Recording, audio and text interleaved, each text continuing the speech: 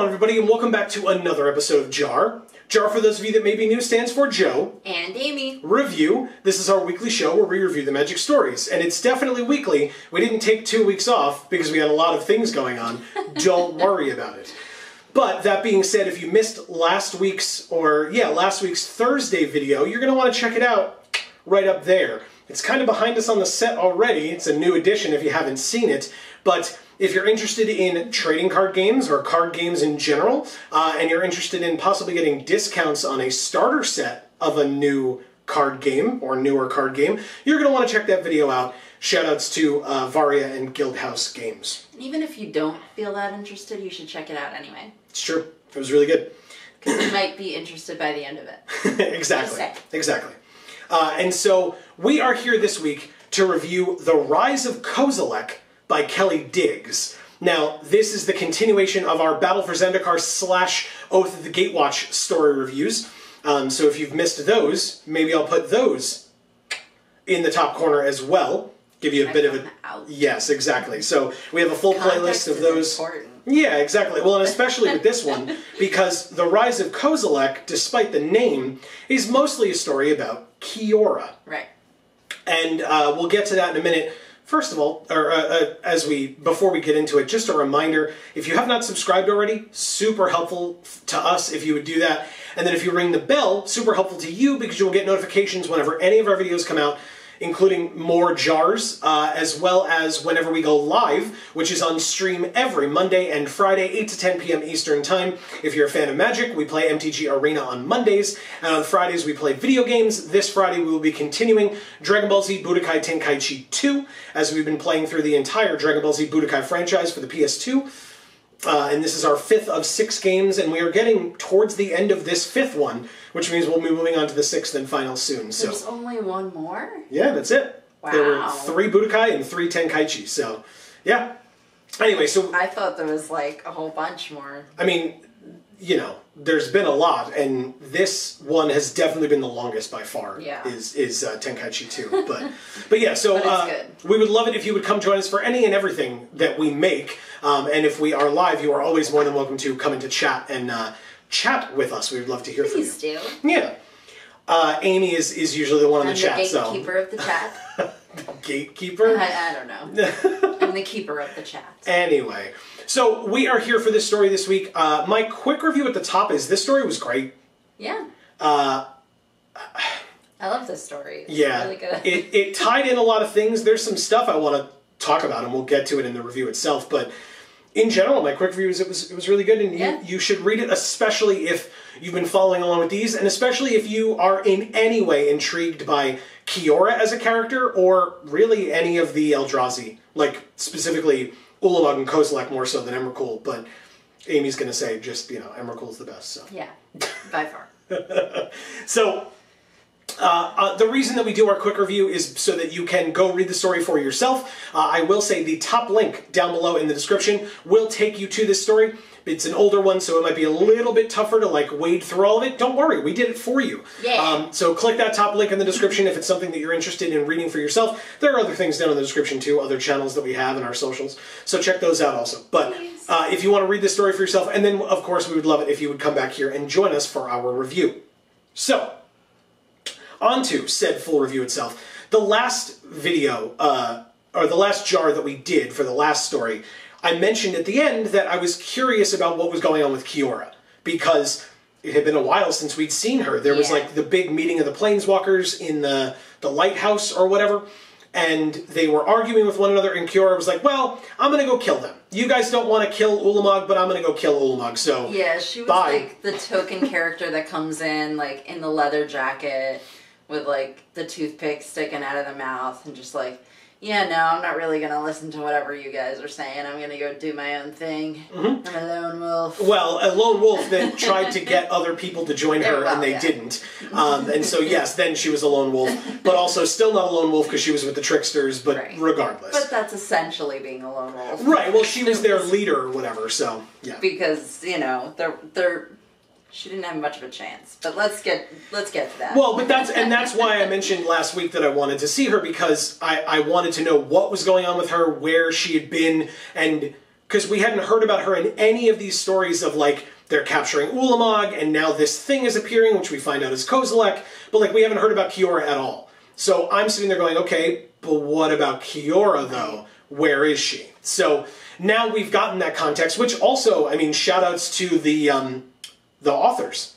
Because if you're sitting there going, I wonder what's going on with this character, and then the next thing you find out is what's going on with that character, It's almost like it's well written.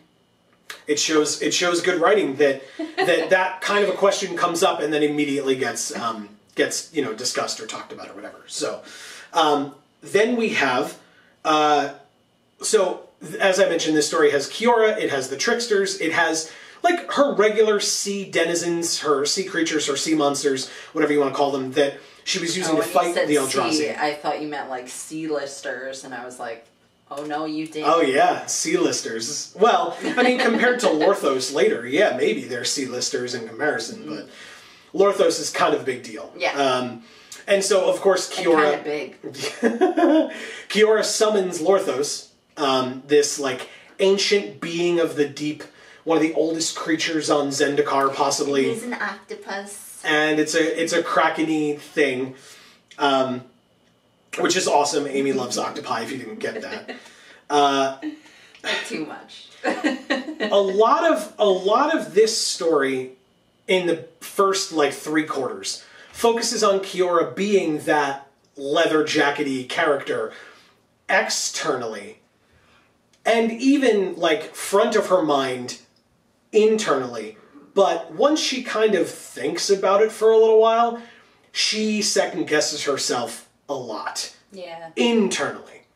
And so that happens with Lorthos at first, where she's like super cocky about being able to summon Lorthos, but also slightly unsure if it's the right call or if it's going to even work or Right. whatever. Like maybe Lorthos will come and kill us all, and then no one will fight Kozilek, and uh, Lorthos will just fuck off. well, and at that point, don't forget, Kozilek didn't exist yet. It, it, at, Oh, yeah, at, like, I mean, true. didn't exist, but Like it wasn't Ulamog. present yet. It was right. It was specifically Ulamog.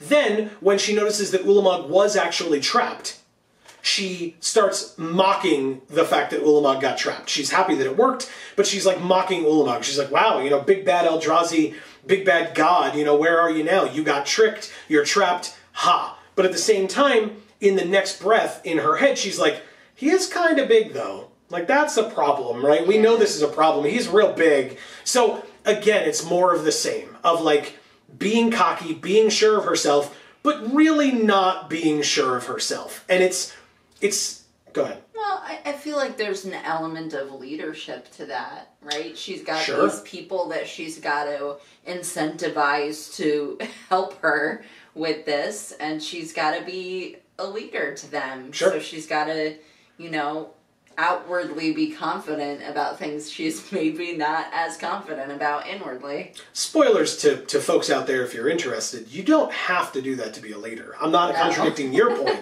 and by any means.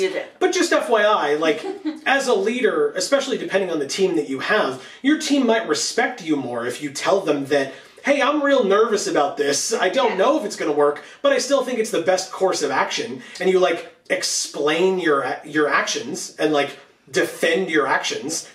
That- Or if you ask your people that are following you for suggestions of how to best move forward. Yeah. Uh, you Yeah, know, if you- because you're saying, look, I'm really nervous about this. I don't know what to do.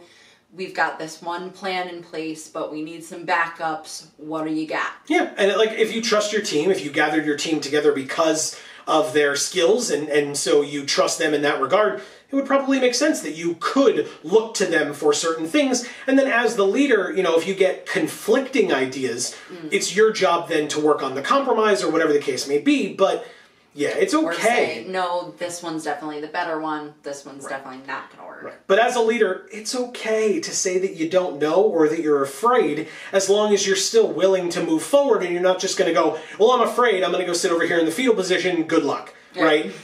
Y'all fight it out. So then we get the Kozilek moment. Cozy comes out. And we'll talk about this in a minute, but Um, Shen, as one of the name tricksters, there were two name tricksters. I didn't write the second one's name down. It's not really as important. But um, Shen becomes brainwashed, taken over, something to that effect, by Kozilek's presence, um, and attempts to attack Kiora. Kiora, feeling that there was no other way to handle it, kills Shen by stabbing him in the torso with the bident, which I liked the way that that was described in that she was like, the bident can't help me here, but it's still a weapon. And it's going to work like any other weapon to stab, right? Like it's the weapon of a god, so it was able to summon Lorthos, but at the same time, you can still just stab the shit out of somebody with it because Well, it's I still a pointy stick. Shen was Shen. Yeah. Yes, Shen was brainwashed. But Shen's body didn't become impervious to things just because of Kozilek. Sure. Like, stabbing it with a Bident is still gonna kill Shen. No, that's fine. I, well, I guess what I was getting at was I, I really appreciated the fact that because the bident is supposed, to, especially for Kiora, right? Kiora has staked everything on this, like the the fact that she has this weapon. She can kill Ulamog with it. She feels like she might be able to kill Kozilek with it. I don't know that she says that, but still, she's like super cocky about it. Like it'll beat all the Eldrazi. It can summon Lorthos. She can control Lorthos or ask for Lorthos's help Right. as opposed to like commanding it. Um, and so with that, she feels super powerful because of it. And yet, kind of has to come to the realization of like, oh, right, it's also still a weapon. Stab. Like, Right. because to her, it's like this, this like omnipotent thing, right? It's a god killer. But it also can just stab someone. And she needs to like take a moment to be like, all right, it can also work as a weapon. Right. And I, just, I really liked it. I thought that was And a, of that course, cool. by the end, that dynamic changes as well. Correct. And I think, I think it's kind of ironic Okay. how she sits there saying gods are only gods because they're powerful, right? And and we can do anything we want to gods. Well, you know, we'll take them down a peg. And yet she holds this god's bident in such high esteem as though, okay, well, I stole this weapon from a god, so therefore this is the weapon that I will use to kill gods. Sure. And it's like, okay, but your whole point is that gods ain't shit.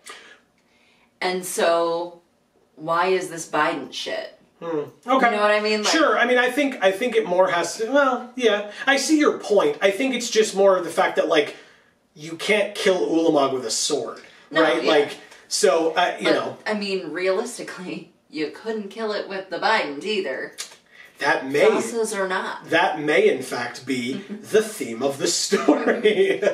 So, I mean, it just circles back to her having to learn that that leather jacket needs to be shed. Right. I also uh, we talked about this a little bit before we uh, started the video, but I thought it was interesting that Kiora, in talking to her tricksters before all this happens, she's is like bad mouthing the Planeswalker's plan of trapping Ulamog, right? Because her whole thing is she's like, well, look, we could trap it, sure, but we're gonna kill it. Like if we get the opportunity, we're gonna kill him because trapping him, it's just not gonna be enough. They tried to do it once before, and here we are. Right. So it didn't really work. Right. I mean, it worked for a period of time until it stopped working. right, and And because that I completely get. Sure, and and because they're planeswalkers that are making this plan, Gideon, Jace, Nissa, etc.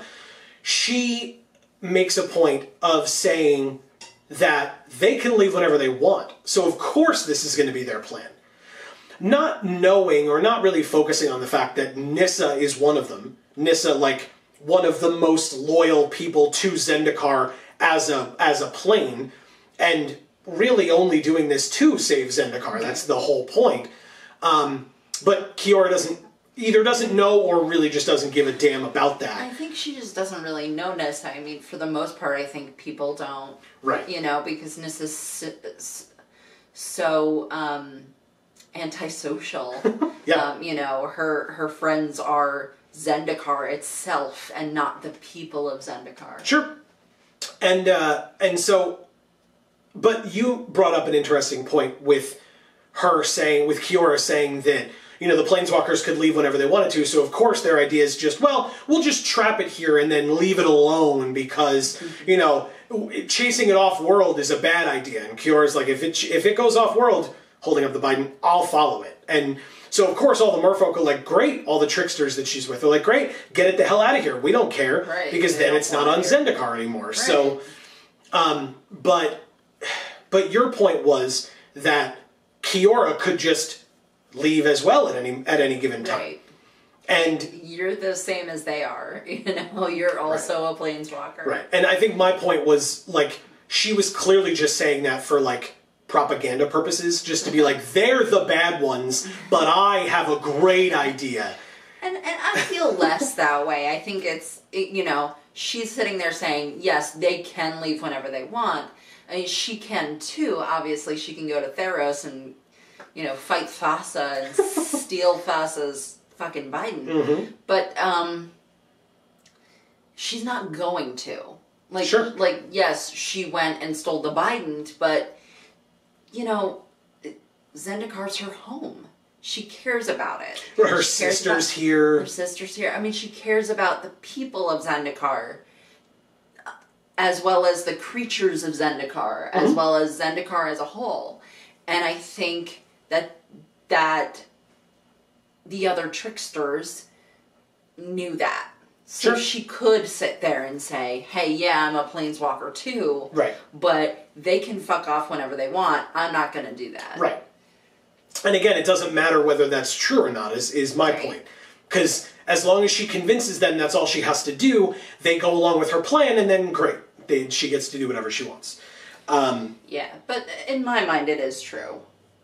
Like I, you know, I think well, I think she needed to say it to convince them, but I don't think it's a lie. well, again, You know what I mean? No, because again, Nissa is exactly the same way, if not more so.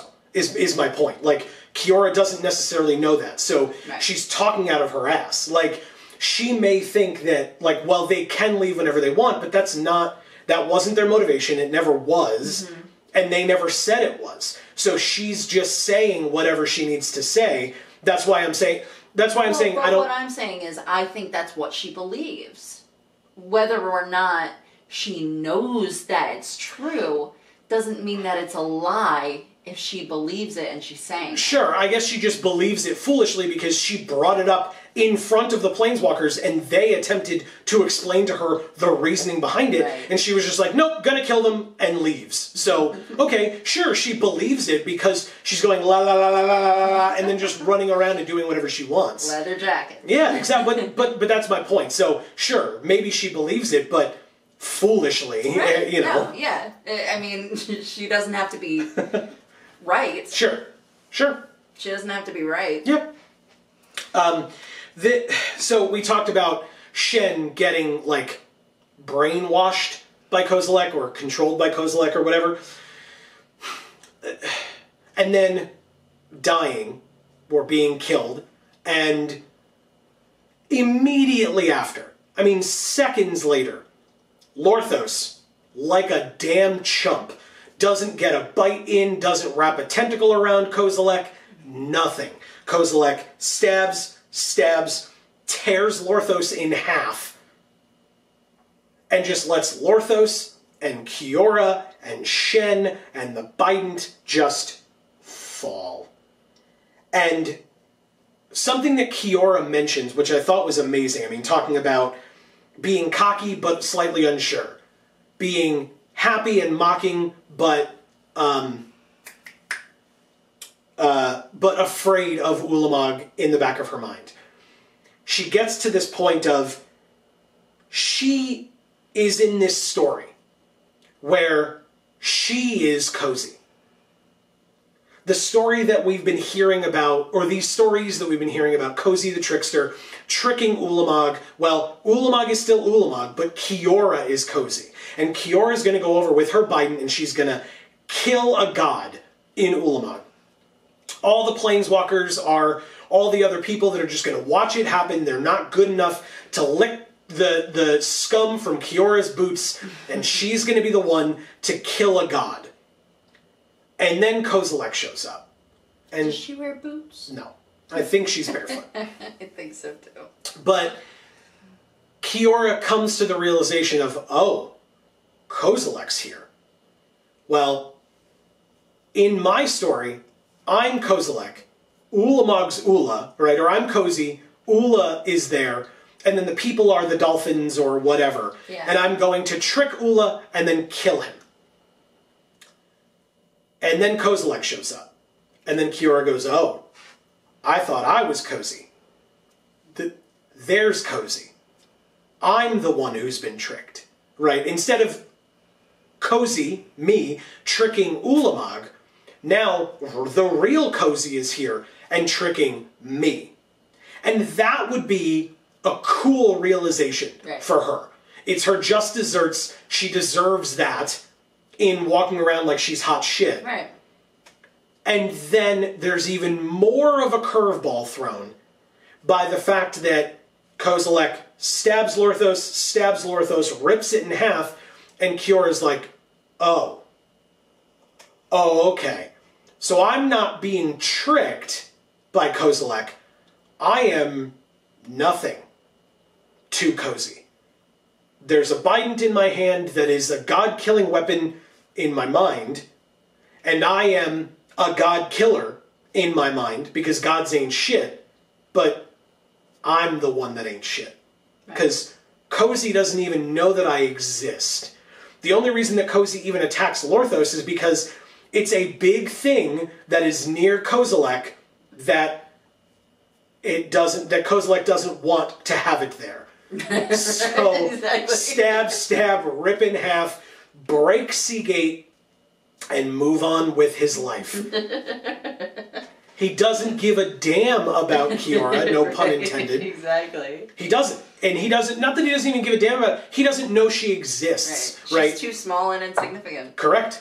And the bident is nothing. It's not. It's not like Kozilek. You know, it, I'll, I'll use the example because I mentioned it earlier. It's not like Dragon Ball Z, right? Where somebody's just standing there. and It's like, oh, there's a big power level over there. No, Kozilek has no concept of what the bident is. Doesn't give a shit that Kiora's down there. We'll talk about it in a minute. But I don't think Kozilek even knew that Shen was taken over by him. Right. Probably not. Just nothing at all. Just there's a big thing. There is no longer a big thing. I made sushi. I think, um. ah, man. I just, I just. I and so then after that realization, then there's the ripping in half and Kiora falls. I just find it interesting. I think it's kind of like it reminds me of um, when when there's like a token giant in a in a movie or a TV show, Okay. and then there's like you know somebody with a weapon, and they're like ah, you know they like stab it with a sword, and like the giant's just like moving around, it like doesn't even feel it. you know, like that's how Sure. I pictured like the bident stabbing Kozilek. Yeah. If it were to stab Kozilek. Like I just feel like Kozilek wouldn't even notice. Yeah, or, it's like- or he might like turn around and like look at it and be like, oh, whatever. Yeah, it's like a splinter for us where you're like, oh, that's annoying, and just flick it away. okay, fair enough. Um, and the the the last big thing I wanted to talk about was Kozilek's like geometric things above his head. I don't exactly know what to call them, but the like black obsidian um, shards that float above Kozilek's head. I think obsidian was just used as like a descriptor for the color Right. because they're not made of rock. They're No. made of like negative. Space. They're made of void, yeah. And but I found it the way that it was described was so interesting to me because I could I could see it. You know what I mean? Yeah. Like I know what it looks like because I've seen it on the cards and stuff, but the cards don't do that description justice. Um, where it talks about the fact that it's it was mentioned as if it were a black hole multiple times.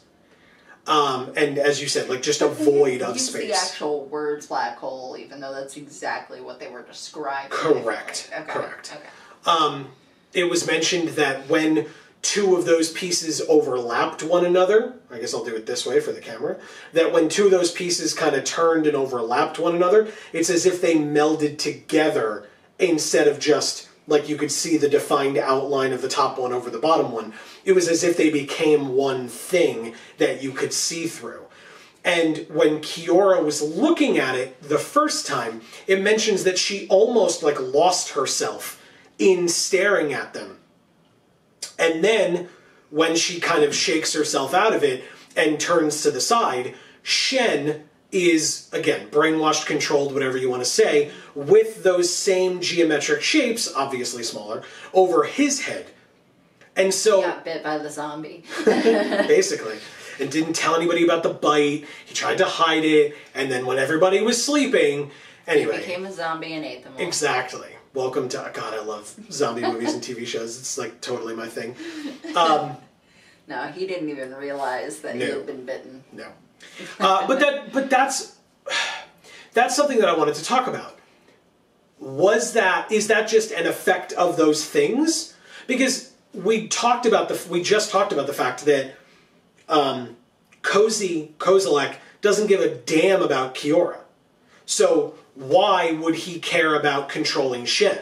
I don't think it was a purposeful choice. Right. I think it's just an effect of those structures over Kozilek's head.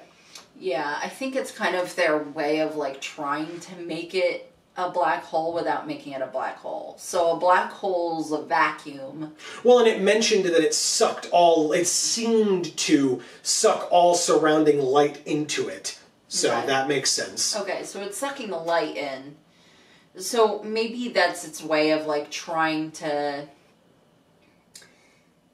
the writer's way, I guess, of or the designers of trying to say that like it's a black hole because it's kind of like sucking your consciousness in. So like even though like Shen isn't being sucked up into Kozilek's head, like his physical body isn't going, Yeah, exactly. you know, Yeah, yeah, yeah. um, but his capacity to think has done that. Well, but You know what I mean? yes and no, because it's not just his capacity to think, because then Shen tries to kill Kiora. So something's being put into him as well, right? It's Yeah. not, you know, there's like something more there. Plus the fact that as soon as Kiora kills him or deals a fatal blow to him, the geometric shapes go away off of Shen's head, and Shen seems to come back to himself and like numbly grabbing at the bident and like shockingly staring at Kiora or shocked staring at Kiora and attempting to speak, but he's very much dying. Yeah. Uh, and so then she, you know, kicks him off or whatever. But like, so it's just it that whole interaction is so interesting to me. Of like, what are these things? Like, this isn't something that I mean. Kozilek is different from Ulamog in that Ulamog has the chalkiness, right, and the the the spawn of Ulamog are like the tongue Eldrazi that tend to consume everything around it. Whereas, right, exactly. Whereas, whereas Kozilek seems to just distort everything. That even when hitting into Sea Gate, he didn't seemingly didn't even make impact. It's just that as his arm was coming down, it was distorting around the arm. It said, Wow. Like a magnetic field of some kind surrounding it, right, and dis- and affecting things that it's hitting into. right, and causing those geometric patterns to to spark out from it, and the coloration of the of the oil on water or whatever. Yeah. and that that's how that is affected in in that way which again fascinating to me i find that so interesting Yeah. so i i'm not sure i i had thought amy and i were talking again bef- before we started i had thought that maybe they would they were the eyes like how kozilek could see but you brought up The Ulamog doesn't have eyes either. so uh, it, it, that doesn't But- hold as much water But maybe Ulamog doesn't see.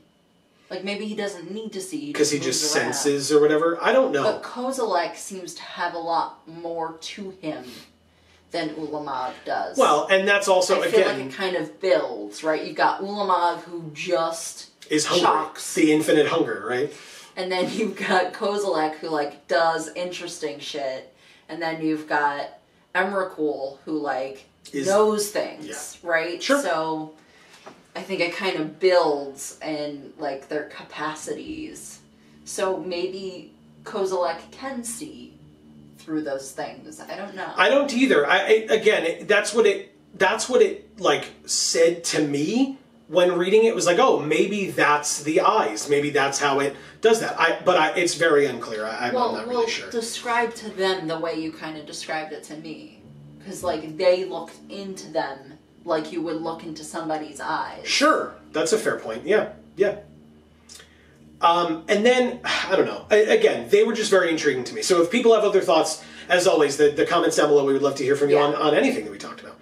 And I guess last but not least, uh, I find it so interesting, right? Kiora falls into the water and just kind of sinks away, right? And is kind of says that she is uh, consumed by blackness. Now, does that mean that she loses consciousness? Does that mean that it's Lorthos's blood kind of clouding the water or whatever? Unclear. Or But- does it mean that she's just like in in an area of the ocean that's really deep? Sure. It, it's unclear, but as far as I know, I was trying to look this up, and uh, if my very brief research is correct, and if it's not, comments down below help me out because I, I really want to know. I, I I think this is important. The next time we see Kiora is in War of the Spark, where she exists again. Now, in no way did I think that she was dead. In fact, I'm pretty sure no one thought she was dead because otherwise, I think it would have, at least for the the the avenues that we pursue in terms of reading up on people talking about planeswalkers and stuff. I feel like more people would have been excited to have seen Kiora. I know that in terms of oh my god, that planeswalker is there. That discussion was very much about Sorin Markov in War of the Spark because how did he get out of the wall? Right Yeah. there was, and there was no discussion on that. But How did he get out of the wall? but that was the that was the next block after this one, where Sorin is it's you know Shadows over Innistrad and then Eldritch Moon. So it's two sets later, maybe three if there was a core set in there somewhere. But but one block. Yes, a corset. Uh, that's Olivia. Uh, but if there's if there's one more block now extra knee is Olivia. if there's one more block after this, that, that that's it's so interesting to me that that's what everyone focused on was oh wow Sorin's there how did he get there whereas it's like wait Kiora's there I, I just I now having gone back and reading this and remembering it I'm like is this genuinely the last time we saw Kiora before War of the Spark why wasn't that a bigger deal I Yeah, just you it know should have been because they don't tell you if she's alive or dead. No, I and mean- they and they kind of allude to her possibly being dead. Right. And if you don't know enough about Kiora, then maybe you feel like she is. Well, and but, that's- but I think maybe you apply enough of a of an educated guess to that that you feel like she's not dead. Well, and I would argue, eh, for me, this is my opinion personally, but I think you just, if you thought she was dead, you probably just don't know enough about fantasy stories. Like, you know, like, if you don't, if it's a main ish character and you don't see them die, and even if you do, uh, they are likely not dead. And so, to me, just sinking into blackness is definitely not she is dead, right? I'm not that gullible, but that's absolutely the the that they were putting it at least into question of like what happens to her? When will we see her next? That's a fair thing. Yeah. i just But don't it was know Definitely like her resigning to the actual reality of just realizing how insignificant she is. I mean, well and I, I wrote the line here. She loses shen then she loses lorthos then she loses the bident and then the sinking into blackness could very well be her losing herself And to be fair, after a situation like that, you probably should be reconsidering everything about your life, your existence, your decisions that you've made to get you to this point. yeah. I, I mean, absolutely, that leather jacket we were talking about was gone at that point, but so is everything else. Right. I mean, she sits there going, all these people are dead, like, and I killed them essentially by leading them into this, like, fool's errand. Right. And so, yeah, I mean, she's in shock Mhm. when she, like, falls into darkness. That's just her, like, being in shock and not even being able to truly conceive of like where her mind's gonna go next. Yeah, she has to- like all the grief and Yeah. all the like disbelief and all of the like trying to like pick herself back up, reassess, and figure out a new plan. Yeah, she's got to process everything that just happened to her, as well as the fact. I mean, a large portion of her life was now invalidated. Right? She she says, you know, Cosi got me or whatever, and then goes, no, Kozilek. Right. Right? She finally moves away from the childlike god figure that she was so playfully following that didn't care about her and She was forced into realizing what that God really is. Yep. So really, really interesting. Um, I, I, I don't know. I mean, at this point, we're so far removed from these authors writing about Kiora that I have no idea. And we've already been back to Zendikar and didn't have Kiora. Right. So I, I can't imagine where her story will go next if and when we see her. It might make a bit of sense if uh, if we see her again on Theros, but we've already been back to Theros and we didn't have a story, but she wasn't one of the cards, so Right. it wouldn't make sense for her to be in the story if she wasn't in the cards. So I have no idea. I also don't know offhand, and I'll, I'll go look after this. The Planeswalker card for Kiora from War of the Spark was Kiora Behemoth Beckoner. And she was mentioned in some of the supplemental free online stories, at least according to the, the wiki that I quickly perused to remind myself of if we had seen her Right. between this moment that we're reading about today and War of the Spark. Um, she was in like two of the supplemental stories with Rat that were put free online. Oh, really? Um, yes, and I'm I'm tr- I'm curious if at any point they mention her having the Bident in any of those, or if she has it in the picture for the card Kiora Behemoth Beckoner. I don't remember. I'd have to double check, and you can do that yourself if you uh, find out the answer. Leave feel it in the free to feel free to leave it in the comments as well. Because uh, does she have it? Did she? Lo- I mean, like, did she lose it in the water? Probably not. But is she? But that doesn't mean she couldn't have found it again. Right, it- but is she willing to go uh, and sift through the remnants of Lorthos at the bottom of the water to remind herself of her greatest failure and her presumably life-shattering realizations that Right. she's come to? Like, is that okay to you know for her to do that? I mean, if it's soon enough after, probably. But if she kind of has to like go back for it, she probably would have waited a good long time. Yeah. So, uh, very interesting, and yet at the same time, a little unfortunate. I- I'd like to say that I'd love to see Kiora soon, and that's not. And and my hesitation is not to besmirch the new team that they have or the new authors that they bring in because we've enjoyed Kaldheim and we did those reviews and, and we enjoyed Strixhaven and we did those reviews to a degree. We enjoyed Strixhaven and we did those reviews. Um, but it's just this team did an exceptional job with building Kiora throughout this. Like this is the third, I think, or fourth story just from Battle for Zendikar slash Oath of the Gatewatch where we had Kiora in it. Mm-hmm. And they did such a good job of giving us that arc of steals the Bident, gets to, to Zendikar, decides to fight the Eldrazi, and gets slapped the hell down. Right. And where are we to go from there? Well, looks like we're going to have to wait a decade or so, you know, whatever it happens to be. Yeah. Or at least, no, it's got to be, at this point, it's like five years, maybe six. But there's no sign of, I don't think she's coming up in Innistrad at the end of 2021. No. So I don't know when we're going to see her next, if we're going to see her soon.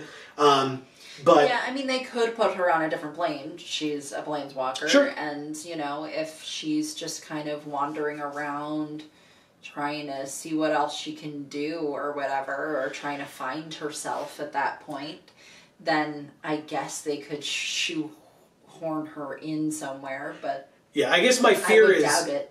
Right. I just I guess my fear is or my point is that if people didn't remember enough to be happy about her returning in War of the Spark, unlike Sorin, then are they really going to be like? Is there really a call for when is Kiora coming back? Right.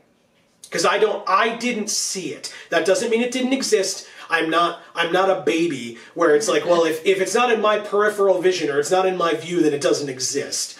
if you are aware of people having gotten to that point, always Yeah. comments down below for anything. Or But or if Kiora is your favorite and you want to sit there in the comments and write a whole thing about how you're, you know, clutching your seat waiting to see her again, please, please feel free to Yeah, leave it in the comments. I'm, I mean, it, it would be nice, especially after having read this. But it's just like you know, I, I read it and then I thought, wow, you know, we didn't see her again until War of the Spark, and when are we going to see her next? And then I kind of went, oh, and it kind of felt like deflated a little bit. And maybe that's some negativity on my part, and it shouldn't be that way. So I'd love to hear people's thoughts on it in general. So anyway, I don't know that I had anything else to say about this one. Yeah.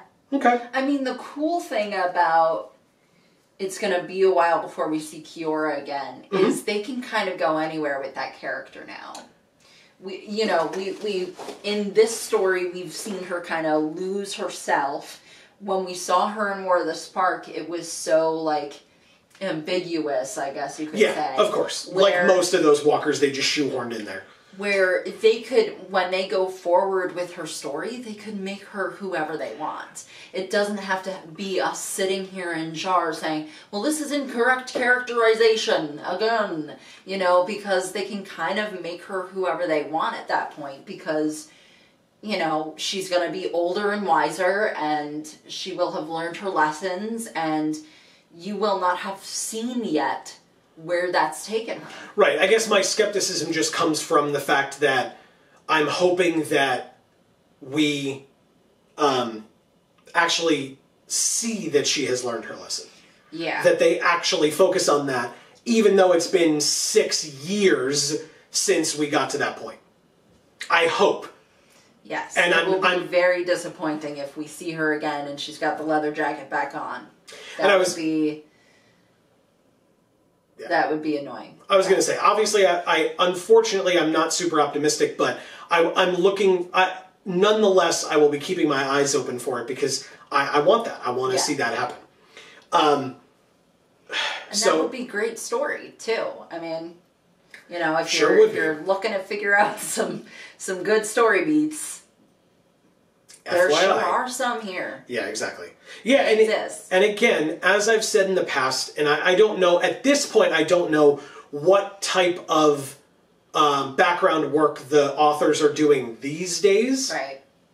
but I know that when they brought in uh, other authors for the first time, so that was starting, I think, with um, Dominaria, that when they brought in outside authors for the first time, there was not. It, it, it would have been a lot of work, but there would there was not enough background work done, in our opinion, Right.